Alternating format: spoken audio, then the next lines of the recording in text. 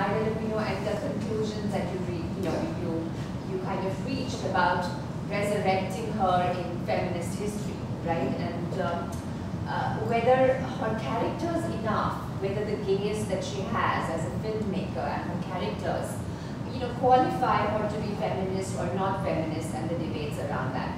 I want to open it up to her life as a director and as a as a as a director who created opportunities for women. So uh, in her own, you know, in in her, in her filmmaking. So did she work with women? Did she open opportunities for women? How would you? I can't say honestly that I know that she did. I, I think you know she, you know, was very much a Hollywood professional and. Uh, after she made six feature films and then began working because partially uh, the kinds of films that she and her, by then they were divorced, Collier Young had made, they continued to work together, um, there was no longer really a place for them in the market. B movies had kind of disappeared from the American entertainment structure. And beyond that, um, you know, black and white, a lot of things. So you know, they stopped, they tried a few times to get projects together, but they couldn't. But she found a very successful career on television. You can find her name in a lot of shows. Uh, Fugitive, which I think is perfect for her, I know Peter would be a director of. Um, the Untouchables, uh, Twilight Zone. She worked on really a lot of shows, and uh, pretty continuously and successfully. Uh, I, have never heard that she opened up a lot of you know opportunities that other you know for other women you know, I think just to the example that she was a professional that people turned to and she continued to work in and of itself was perhaps uh, something to be celebrated. But again, as I said, she never fit well into that paradigm because even again, when she was at MoMA in 1991, uh, she said all her examples were men and how much Raoul Walsh helped her, how much Robert Aldrich helped her, and, and she felt, and for whatever reason, I was very lucky. I had a lot of support, a lot of uh, a lot of help, you know, almost always from them. Uh, she worked, I think, especially well with young actresses, like you see with uh, Sally uh, Forrest, I think, in, Outrage, and even seen that, in Mala, Mala Powers in this one. Anyway. Yeah, okay. Um, also in uh, we see interesting shades of dealing with women's sexuality, right? In both in both the films that you kind of talked about, yeah. um, in Unwanted as well as in Outrage, right? so um, did this kind of pervade her filmmaking? I think, I mean, yeah, personally, I think very much so. I mean, I think one of the things that fascinates me is her creation of these damaged men. You know, uh, certainly the character of uh, Drew in Not Wanted, uh, it's kind of suggestive that in the war, not only did he become crippled and he walked with a terrible limp, but that in fact he may become impotent. And he even sort of makes the comment about you destroy that part of me and stuff like that. And yet that's the love she clings to at the end. Bruce is also a very curious character, you know, really sure because she, you know, says to him, let's stay together, you know, and he says, no, I can't, I don't want this. And that's why at the end she, I mean, puts her on a bus and she goes away. So, and then, you know, another one to her, last film that she directed in the, in this sort of first cycle was a film called The Bigamist, which was a man about a man who marries two women. And uh, that's played by Edmund O'Brien. And again, curiously, that idea of marrying two women is here shown to be a sign of his weakness. You know, the fact that he's not able to really, not even choose between them, but in fact able to make a commitment to them. So it's, it's very interesting that again and again she kind of creates this very strange image of a, of a weak man. Um, now, in terms of her women, I, I think her women are driven, but she really you know, creates sort of strong female characters that sometimes was associated with a certain era of feminist filmmaking. But, uh, here, I think her women are also flawed. They're also, they're helpless, but they're aware of their helplessness. And they sort of rail against that, often in crazy ways. But I mean, they still do. Alankrita, that's, I think, a good segue to your filmmaking, right? And um, when we saw Lipstick, you know, I, how many of you have seen Lipstick? Well, um, okay. Alankrita, in, in, in Lipstick, we also have um, four women, and again, we're playing with sexuality. But in that one, I mean, it's certainly a woman's story, right? You're not looking at this complex masculinity in that kind of way. You're looking at the complexity of the feminine uh, space and the feminine role.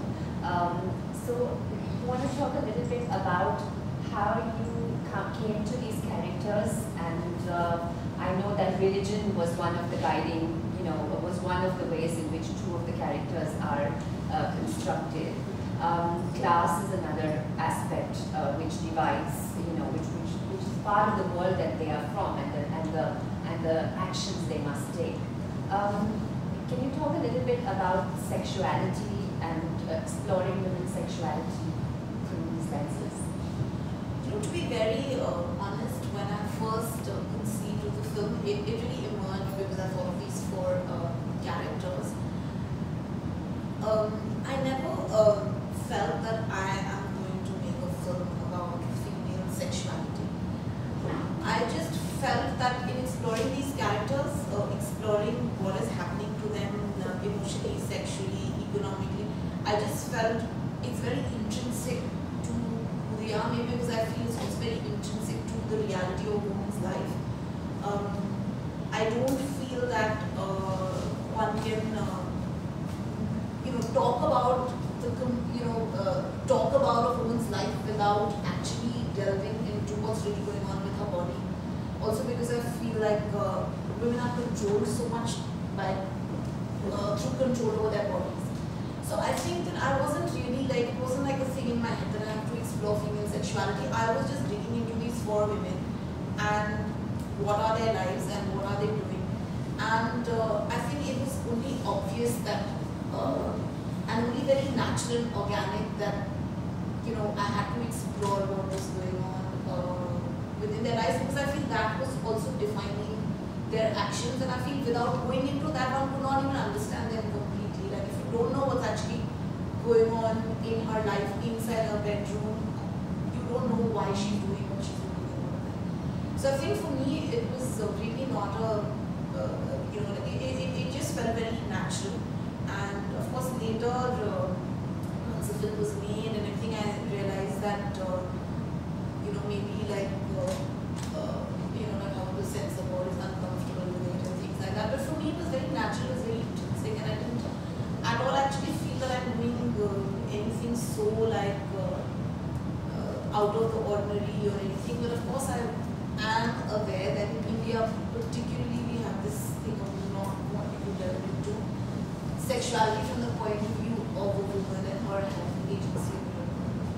Yeah, particularly older woman and you know different types of women. Their place as a, as a wife, as a you know Yeah. as so. Um, yeah. Um, a lot of the characters in your film, you know, when they're claiming whether it's a workspace or public space or um, they're doing it through you know subterfuge, right? Yeah. They're doing it. They're subverting the system. They're they have acts of resistance which are, you know, they have to be deceitful. They cannot be their true selves. They have to come to that through different persona and through a lot of, uh, you know, covers and, and it's kind of only in the end when they come together they openly read the last chapter of Lipstick, right? So, um, how do you see, I mean, so it's very, to me it was very interesting in their individual claims, they have to uh, have, because it's so lonely and it's such a struggle, that they're doing it through deceit. And there's a hint of, even though it's very depressing and dark, I thought that was a hint of hope in the collective action of reading openly. What, where do you see the collective spaces in the film industry or in cinema today for women? Um, particularly, yeah, so in, so in the film industry, where do you see the collective spaces both uh, maybe as part of a film, you know, film, women's movement within the film industry or the industry itself, the institutions? Where do you find that? So I do feel that, uh, I guess because there are such few um, women, in, you know, who really are uh, working behind the camera, there's always been very much like what Ida uh, probably said in her interview. You know, like I think there's been a sort of reluctance of women uh, to claim that uh, they are like, they don't want to be slotted as female film directors. So a lot of my seniors who've been making films for a while and I know like I had many conversations, they really hate it. They're like, why should we be called female film director? Whereas, so I feel that there has been this thing of not wanting to be slaughtered. And I think it's very fair at some level because they feel that uh, the work that they are doing is not necessarily similar to the work that another female film director might be doing. And why should they all be put into one sort of box and be like female film directors? But I think uh, uh, uh, I see it very differently. But I, because I see that there are such, there are such few in number uh, that uh, maybe begin with, it's important to have this categorization simply to point out that there are very few and many more women need to uh, uh, be able to claim that space so that actually content changes and so that the female perspective actually is present in cinema, which really has not sort of been. So I think things are a little different now because women are like, there are, you know, the newer directors are more open sometimes about uh, discussing things with each other. And there are a lot of people, like there is a lot of level of lot of personal friendships and a lot of encouragement that does sort of happen. But I do feel we don't have a formal uh, sort of collective. But uh, the Indian uh, uh, women cinematographers have set up this Indian Women Cinematographers Collective last year, and I think that has been phenomenal because the number of women cinematographers in India, as in the world, as you know, that Morrison was like really the first nominated for the Oscars. So the number of women cinematographers has been really, really low. So these girls have set up a collective, which I think is fabulous, and they're really making this effort to actually, like every film that they do, uh, they try to get like female uh, cinematography assistants, and you know they're trying to help out like the younger girls who want to get into it. So I think that's really, really commendable. The Malayalam film industry has set up the uh, Women in Cinema Collective to actually speak up against the kind of discrimination that happens, and particularly about this particular actress who was attacked. Uh, so they set up the 17 uh, actors, uh, directors, and cinematographers together set up uh, this collective to sort of speak up and ask for like uh, more a more equal kind of a, a situation. So I think these are two uh, groups that I know of the like the formal groups that have been set up. Both were set up last year. So, uh, but otherwise I feel it's more informal and now it's like, it's not like there's like a strong collective and like I said, there's still a lot of like more established directors often there's like a lot of hesitation to be loved and being labeled as a So both in uh, the, the cinema of the, American cinema as well as in Indian cinema, and I'm not just going to say Hollywood and Bollywood because it's, it actually goes towards different types of cinema, both art house, both you know regional, all levels of cinema. That we have an abysmally low percentage of women directors, right? I, I was reading uh, a report came of San Diego Center for the Study of uh, Women in uh, and Television, which talked about even falling rates. And you know, in 2016 there was a dip in the number of directors who were involved, in female directors. So um, we're seeing numbers as in their teens or even in single digits, you know, of women represented in major aspects of the industry. Um, that is where, of course, we know the history of patriarchy and you know the history of masculinity. So I'm going to move us a little bit away from that and just say maybe the business of directing, you know, the uh, two aspects of it, and hopefully we can investigate those a little bit more. One, I would say, is technological competence, and would you say the use of technology? It was interesting to hear you talk about Ida Lupino's, you know, techniques and film, you know, her style of uh, use of uh, technology in particular ways. Um, so generally, we, find this in, you know, certainly in the engineering uh, schools, in, in where technology. So do you think technology has been prohibitive for women, and do you think there are new opportunities now with the digital medium where we will find women getting uh, more comfortable in the role of a director? So I'm sure that you know there were plenty of women who back in know, the era when Ida Lupino was directing also could have directed, could have learned the technology, learned to use it.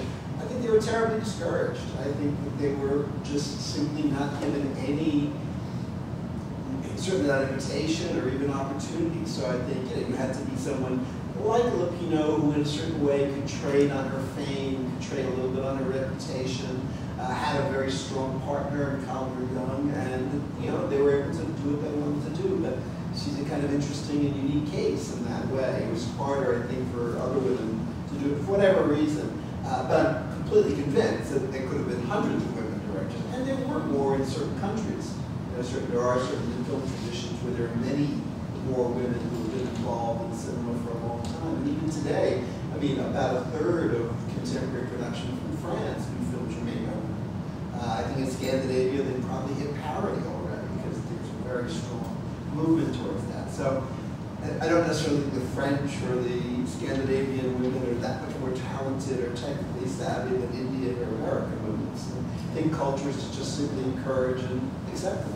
Yeah, that's that's what I was uh, actually not implying that they were not technologically savvy, but exactly what you said about, uh, you know, just uh, the access of women to technology and, and the comfort of that. And, you know, the technology schools have been very prohibitive spaces for women also in this Yeah. country. But, you know, I just uh, want to say that, uh, frankly, uh, you don't need to be that tech savvy to be a director.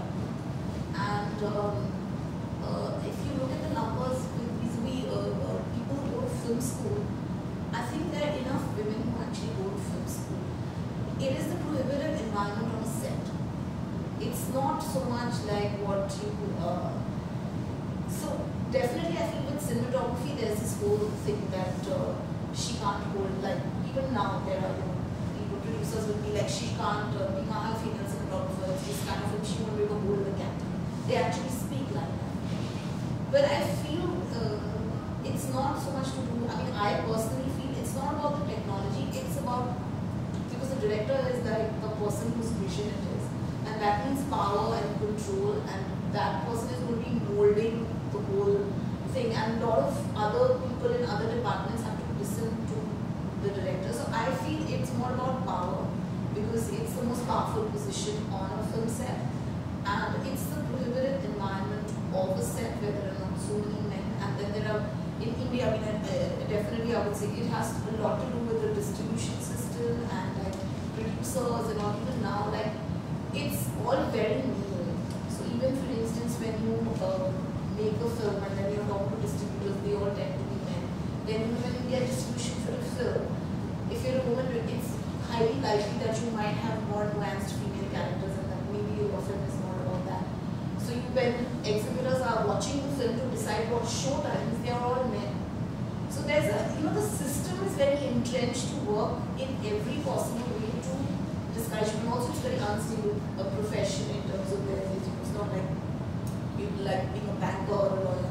So also, I feel like families also discourage women. So even when women start, you know, become assistant directors, they're often uh, told, sort of encouraged to take up a job with a, with a TV channel or something that's more stable and, you know, five days nine to six, that kind of thing. Because they're like, oh, you can't spend your whole life like this. Then it's like, oh, if you have a family, what will you do? So I feel many factors sort of work together to kind of keep discouraging women. So then, like, you have a situation now where there are many more women on a set. When I started working, the first film I worked on, there were three girls on the set. There was me, there was a costume assistant, and uh, there was uh, one more, it, a hairdresser. Only three of us on the set of 250 men. There was nobody else on the set. So it's a very male kind of environment. So I think that has changed. There are many more women who you know, assistant directors. But then they also are told, uh, possibly being encouraged to other jobs eventually, rather than taking the risk of, know, Yeah, and, you know, just to take off from that, you talked about the business, you know, the, the, the, the financial aspects, the, the power aspects. In your case, uh, you talked, you've written about, uh, you know, having um, uh, as a distributor, perhaps helped in the distribution of lipsticks. So, so, so you would say that more um, female ownership of businesses um, and more kind of, uh, you know, the powerful positions might create, not necessarily would, but might create more openings for women. Definitely. I, I, I definitely so. I feel like the change has to come at every level. Because I feel, uh, first, I mean, I really would like to also put the onus a lot on our audience because our audience has been so conditioned to consume cinema from such a male perspective. The male gaze is so entrenched that uh, even our audience sometimes is not, you know, like they'll go and watch a very male uh, Bollywood, uh, that big tent-pole film four times. But you know, like a smaller indie film with like female characters, they'll be like, oh, forget it, we'll see later or whatever. So the audience also, I feel, needs to participate in this change because the point is that these films, for them to keep getting funded, because in India we don't have any public funding for, uh, there's no, so your, whatever film you make has to get funded through, uh, you know, through the same investors and studios. So they are obviously looking for a film to be economically viable and financially sustainable.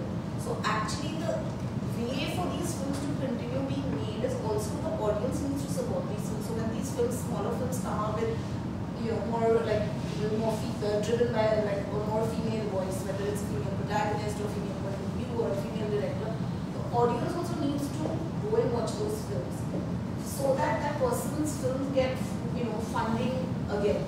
So I feel like it's like a very complicated sort of cycle uh, in, in, in that sense. So I feel change has to come in with studios, you know, like studios have to have more faith and trust women. So it really boils down to like many, many, like I really every department needs to sort of uh, uh, display and exhibit and enact that uh, change. Even the notion of, you know, women's films, I mean, although I'm guilty of myself, you know, people will say, why does Pino make films about women's subjects?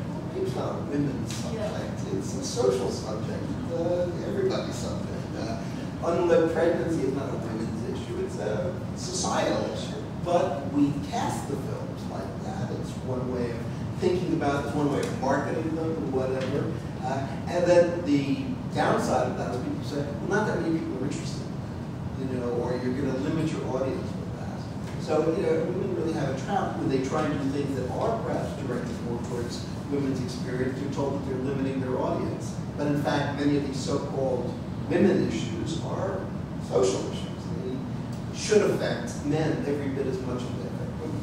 Yeah, and I think it's very interesting because I keep getting asked, and I find it really funny that, oh, so your first film was also female-centric, your second one, your third one, so your writing is that. And I'm like, how many times do you ever ask another director whether, oh, so you're making another male-centric film? You know, so it is really weird. I, I completely agree how uh, films with the female protagonists just get sort of uh, boxed into sort of one category rather than just looking at them as films that may have male or female. Talked about, uh, talked about the audience, you know, and the audience also needing to view films in a different way. And I, I just you know, because we're at the at university space, so to say, and I want to make a, you know, we were talking earlier, Richard, also about the role of pedagogy. And one of the things that we were noticing was the, you know, the compartmentalization of film production schools from like film studies and film criticism or engagement with other subjects like sociology.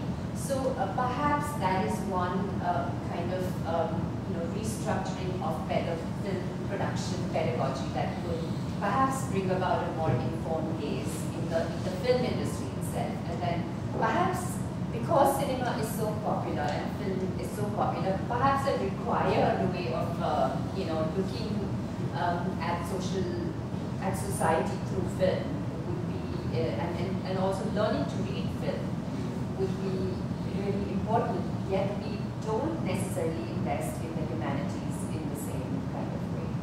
it's actually something that even before I began working there, I admired about Columbia's film program is that unlike many other schools, within the film department, we teach both filmmaking and film study.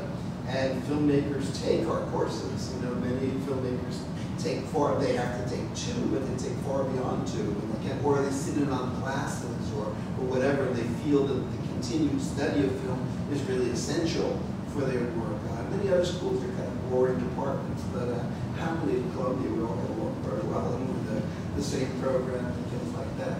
Yeah, and in fact, also just at this moment, aside from you know, just a nice thing about Columbia, it was you know pointed out by a number of students that every when incoming students are coming to the program, they're sent a list of here are some suggested films that you should really perhaps see, make sure you know what we're referring to them. And I think 48 out of 50 were by white men. So I think, you know, that you know, Amina said, you know, maybe we should relook at this list and, you know, see about, you know, and of course, you know, many of them were great classics, but again, should this be exactly the time when you're introducing to a range of cinema, you know, not only by women, but international cinema from many different parts of the world and things like that. Okay, so just one more question from my end and then I'll open it up. Um, of course, in, in, in America and in Hollywood and in related, you know, media fields, we've seen the Me Too movement that has resulted in uh, firings and resignations and some kind of acknowledgement, you know, that is uh, about uh, sexual misconduct, you know, and uh, and not only and, and, and from uh, the progressive, you know, progressives and the left wing movement, etc. So, um, how do you feel? Um, I'm kind of asking a difficult question because, but um, you know, is, is there are there mechanisms for redress um, in the? In, will we see that growing in the Indian feminism? To be very honest, I think right now, uh, I don't think anything is really changing in uh, the Bombay film industry because uh, I think it's very hard for women to speak up. I don't know, like, I feel like uh, even if, like, recently this actress, uh, Swara she just criticized a film and the way she was attacked simply because she felt there was a problem with this very mainstream film. So I think,